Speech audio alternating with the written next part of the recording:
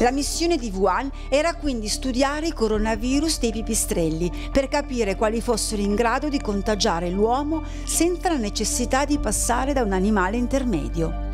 C'erano dei segnali, infatti, che i virus si stessero ricombinando fra loro, scambiandosi pezzi di codice genetico e dando vita a nuovi virus con nuove capacità.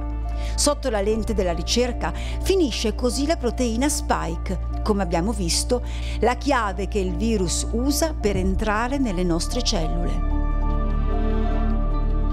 Nel 2015 la professoressa Shi si rivolge ad uno dei maggiori esperti nella costruzione di virus sintetici. È il professor Ralph Baric dell'Università del North Carolina, il più grande esperto al mondo di coronavirus. Insieme i due scienziati costruiscono un virus ibrido, la famosa chimera di cui aveva parlato il TG Leonardo, tornato a circolare in rete qualche tempo fa. Un gruppo di ricercatori cinesi innesta una proteina presa dai pipistrelli pipistrelli sul virus della SARS ricavato da topi e ne esce un super virus che potrebbe colpire l'uomo. Realizzato in America col finanziamento anche dell'Agenzia del Dipartimento della Salute degli Stati Uniti, l'esperimento aveva dimostrato che la proteina spike era in grado di legarsi al recettore umano e di infettare le cellule direttamente, come ci racconta il protagonista di questa ricerca, il professor Barik, che per la prima volta parla in Italia. In uh, sequence databases there were sequences for a large number of bad coronaviruses that were SARS-like reported out of China. And in that massive pool, you could imagine there are strains that might be able to use human cells just fine. And so the question in the scientific community is going to, was is there going to be if a new strain emerges is going is it going to be able to you know is it pre-programmed to cause an outbreak of disease or does it have to go through the sort of sequential steps of mutations? So the important parts, the important take-home messages from that paper was that there are um, viruses that exist in bat species, pre-programmed to jump between species, will replicate just fine in humans. We had no access to the viruses in China. All we had was access to the sequence. And so you can chemically synthesize the sequence of the virus in the laboratory and make the virus sequence and then recover the virus. Dopo l'esperimento col professor Barik, nel 2017 il team di Wuhan pubblica le sequenze di 11 nuovi coronavirus di tipo SARS, identificati ancora nel sud della Cina, nello Yunnan. Ricombinando alcuni di questi virus in un progetto sempre cofinanziato dal governo americano, i ricercatori costruiscono otto diverse chimere.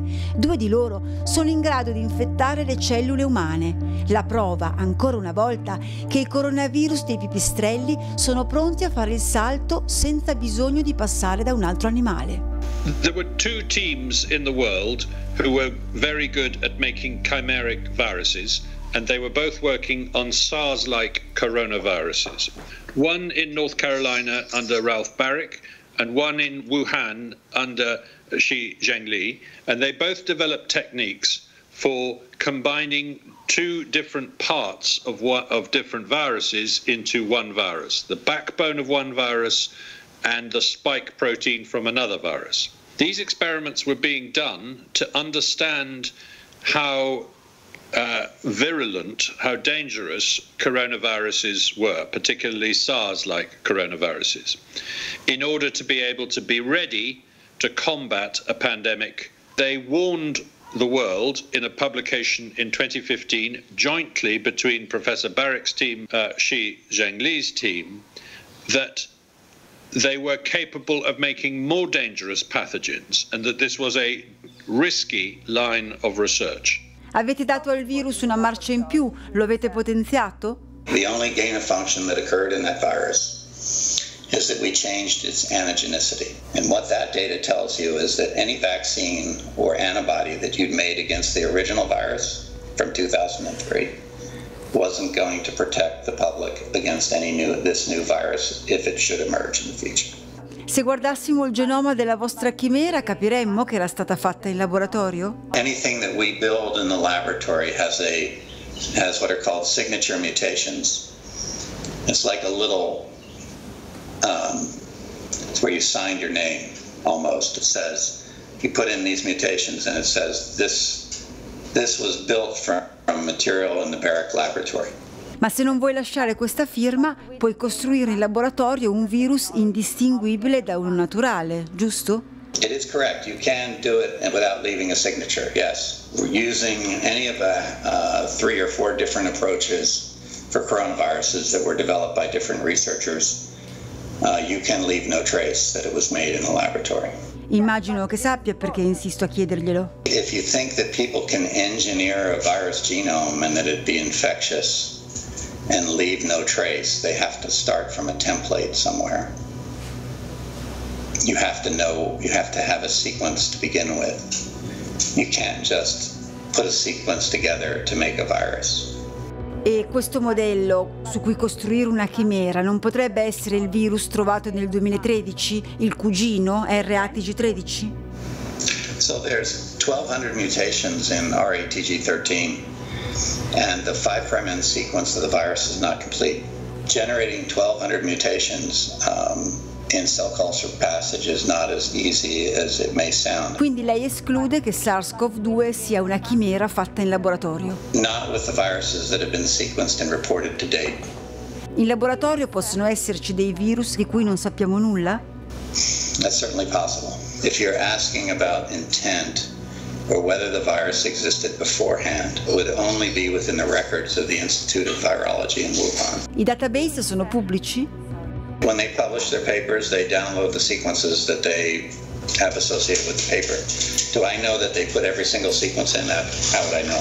You end up with millions of sequences, so Cercando negli archivi della rete abbiamo scoperto che la professoressa Shi aveva messo a disposizione della comunità scientifica un ricchissimo database, una banca dati specializzata in virus di pipistrelli di roditori che conteneva dati relativi a più di 20.000 campioni e virus raccolti negli anni in diverse parti della Cina. Riportava informazioni molto dettagliate, le coordinate GPS del luogo di campionamento, il tipo di virus trovato, se il virus era stato sequenziato o isolato, cioè fatto crescere in colture cellulari.